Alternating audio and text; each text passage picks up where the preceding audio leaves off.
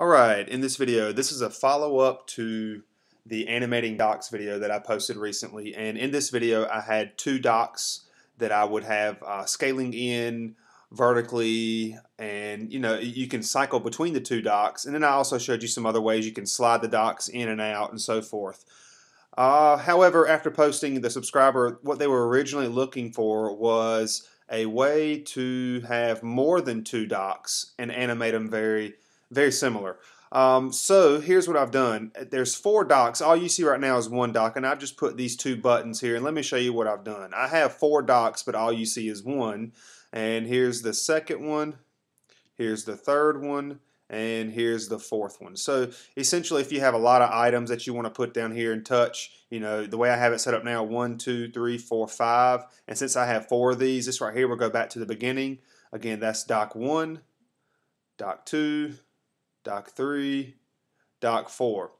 And you can also go backwards this way and notice the animation still work nicely. Now, let me go ahead and tell you, the way I have this set up, if you're going to use this technique, make sure you have an even number of docks. That way when you scale these in vertically um, and you adjust the module top and module bottom, that therefore no matter where you are, if one's going down, the next one will go up. You see what I'm saying? And then that this one's going to go down. The next one will go up. Uh, this one will go down. This one will go up, or however you see that. But you know, if you have an odd number, it's not going to work out. So use an even number of docks for this particular technique. And again, we can go backwards and the same thing is still going to happen here. So essentially we can have 20 different icons, 20 different things to touch down here, toggle, whatever you want to put in this dock for your custom live wallpaper. So let's go ahead and have a look at KLWP. And as you can see, I do have four overlap groups. I call them Doc 1, Doc 2, Doc 3, Doc 4, And I have two icon fonts. That's just these two guys here to touch. All right. And here's what I've done to create this. Uh, in globals, all I have is one global variable. It is a list global variable. I have started using that more and more recently, and this works just fine. This can be done with the text global, but uh, I thought I'd never say this, but the the uh, text and now the list, the list global variable is becoming one of my favorites as well. So inside of this uh, list global, name it whatever you want and give it the values 1, 2, 3, 4. Basically, that's the number of docs I have. Uh, dock 1, Doc 2, Doc 3, dock 4. And that's all you have to do there. I've talked about creating lists. Remember, when you create it, you have to put a comma between each one and give it a name. All right. So going back to items, we got doc 1, doc 2, doc 3, doc 4. And basically for doc 1, I've created my stuff. I have everything inside of it, but we have to go and animate it. Now all these docs have to be inside of your root. That way you can animate each one of them. So go to animation for doc 1, formula, and here's the formula I have if that global variable that I created, if the list global variable doc is not equal to 1, I want to move this animation forward. If it's not, I want to move it backwards. And therefore, uh, I have it scaling out vertically. You can have this thing scroll, but you have to move your docs around. But I have it scaling out vertically. And notice I have it set to module top. It's important to remember that. Scale out vertical module top. Because when I go and do doc 2, let's go look at that now for dock 2, maybe I should make this full screen. Sorry about that. When I go and do dock 2 animation, this is for dock 2. The formula is if the list global variable dock is not equal to 2, you want to move it forward. If not, you want to move it back. So um, what we're looking at here, I still have it scale out vertical, but now I have module bottom. And basically, I'm doing the same exact thing for module 3, or excuse me, dock 3 and dock 4. I'm alternating the anchor. So if I go back, and I go to dock 3, go to its animation, scale out vertical, the formula if the list global variable dock is not equal to 3, move it forward if it's not, or if, the, uh, if it is, move it back. So therefore, uh, look, module top. So remember, dock 1 was anchored module top. Dock 2, anchored module bottom. Dock 3, anchored module top. Dock 4 will be anchored at the module uh, bottom, as you can see right here. See that? You can adjust your speeds, you can adjust your ease if you'd like. I'm just I'm showing you how I can get this done. Now, how do I have the touches set up on these two arrows? And you can put these wherever you want. This is the right arrow. So basically I want to move forward in my list global and we can do that. If we go to touch, I already have it set up, so I'm toggling that uh, list global variable. And under entry, I, am not picking any of these. Basically, I'm picking next value. So this is where order is important. Um, next value, if it's at 1, it's going to go to 2. If it's at 2, it's going to go to 3. If it's at 3, it's going to go to 4. And if it's at 4, it's going to go back to 1. That's what next value will do. And since I have these in order, make sure you put them in order when you create your global variable. It's going to do this nicely. The way we have it anchored at the module top and module bottom, it's always going to go and look smooth, so to speak. Um, you're not going to have any going in the same direction. I uh, hope that makes sense. Again, use an even number of docs here. So uh, what else do I have to cover?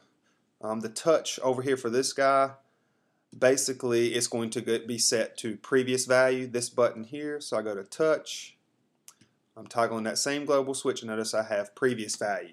Now, this is what I like about list compared to text. I have some videos up here very similar um, using this kind of technique to where I used to say like a text global variable. I would say if the text global variable is less than one, um, you want to subtract one from it. Otherwise, you want to reset it to a certain value.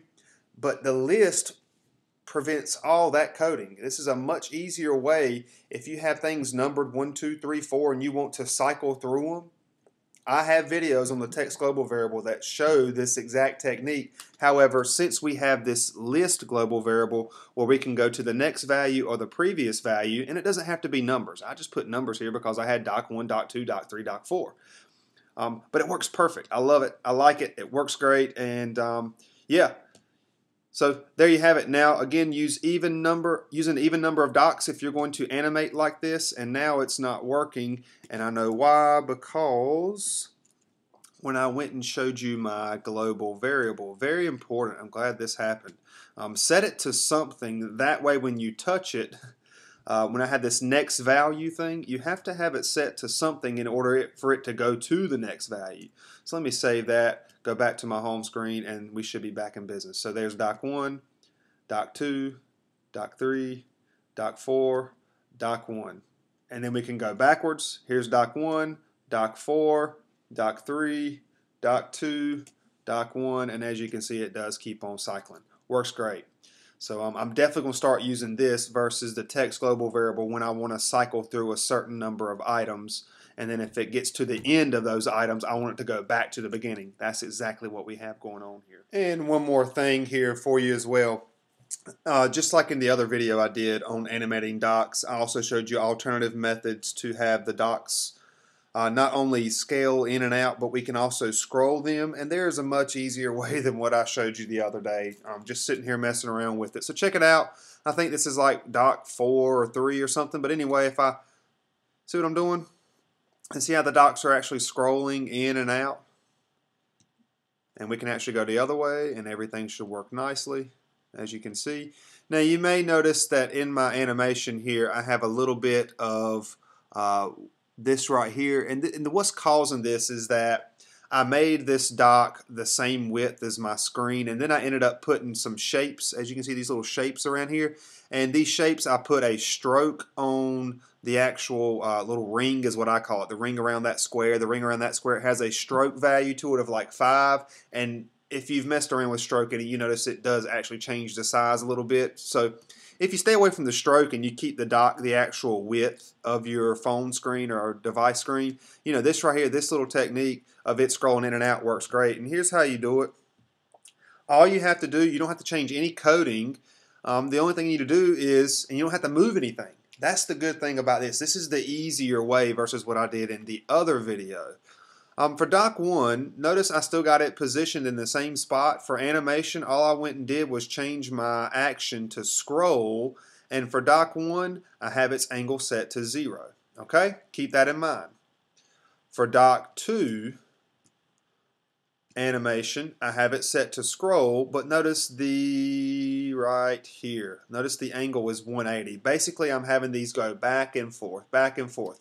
For Doc 3, it's going to have the same exact animation as Doc 1 did. Again, I'm not changing the codes here, so the formulas are still staying. I'm in Doc 3, so I, I still have the same exact code I had as earlier, but uh, dock 3, its position, or its angle, excuse me, its angle is 0, and dock 4's animation, again, not changing the actual formula, I'm just changing the angle.